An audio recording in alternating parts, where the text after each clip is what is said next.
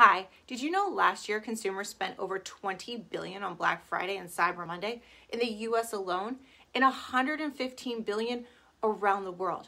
What does this mean? These 2 days can make or break your revenue for the entire year. So it's not really just about nailing this or luck, it's really about being strategic. Set clear goals and objectives. Optimize your online presence and follow inventory management.